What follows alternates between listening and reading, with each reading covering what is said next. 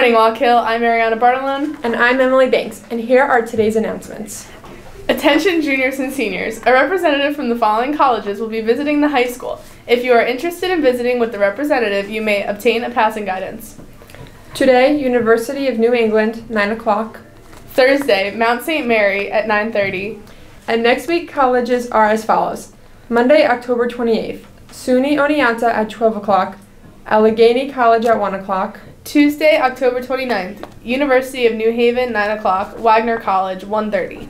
Wednesday, October 30th, New England Institute of Technology 8:30, Wilkes University 11:30 a.m. Congratulations to the JV boys soccer team who finished the season with a 13-2 record after defeating Rhinebeck 2-0 on Friday night.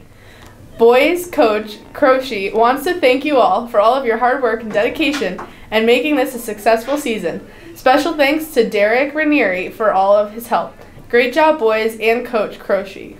Interested in learning more about how to write your common application college essay or need tips on how to use Naviance? Come to the Active Learning Space Room immediately after school on Wednesday, October 30th for our workshop. If you have an existing essay, bring it with your feedback or assistance. Please bring your Chromebook as well. This will be the first of four workshops. The Leo Club is hosting their first ever Socktober drive. We are collecting new socks of all sizes for men, women, children, and babies. Please drop your sock donations in the boxes in the library or main lobby and help people in our local community stay warm and comfortable this winter. The Be Beautiful meeting will be on Tuesday, October 29th. Attention seniors, please return the blue diploma letter requesting the proper spelling of your name to Mrs. Rotunda in the guidance office by Friday.